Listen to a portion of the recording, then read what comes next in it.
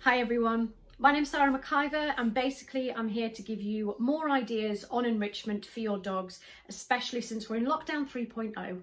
My aim is to get rid of the food bowl um, and give you more ideas of what you can do to make your dog's meals more interesting, give them some much needed mental stimulation and also encouraging those uh, really important natural behaviours such as sniffing, foraging and chewing. Um, so really hope you enjoy the next few videos. Let's get rid of the food bowl um, and let's make our dogs' meal times a lot more interesting. Hope you enjoy them. This is a selection of some enrichment activities I'll be introducing you to, but let's start with the first one.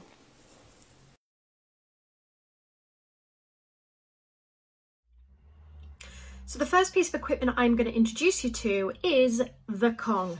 This is my go-to uh, for enrichment. They are so, so useful. So the Kong itself, it's made of rubber, it's cone shaped, it's got a large hole at one end and a small hole in the other. You can use these whether or not your dog is on dry food or wet. Um, I will show you a video shortly of one of my dogs uh, enjoying their Kongs. Uh, they get them quite regularly. The good thing about them, if you're um, putting dry food in there, you can really pack it in or if your dog has not used one of these before, um, always introduce new en enrichment by showing your dog how to use it. Now, I don't mean use the enrichment equipment yourself, um, but certainly showing your dog that you're putting food in there, perhaps holding it for them while they um, lick.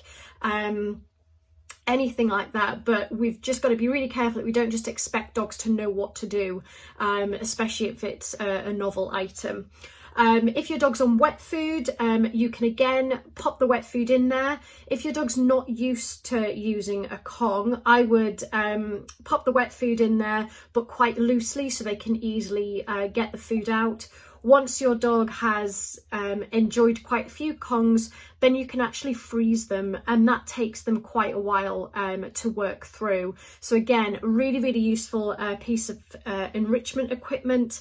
Um, and also you can have a look online and get really creative. They've got lots of Kong recipes on the Kong website. Um, so yes, this is our first piece of equipment to start getting rid of our dog's food bowl.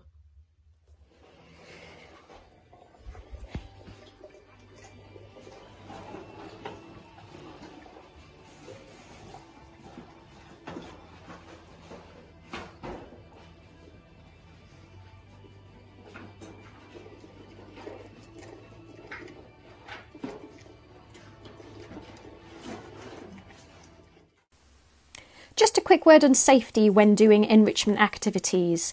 If you've got a multi-dog household, do make sure that you separate your dogs so that they can enjoy their enrichment activity on their own without feeling any particular um, anxiety um, or competition uh, from each other.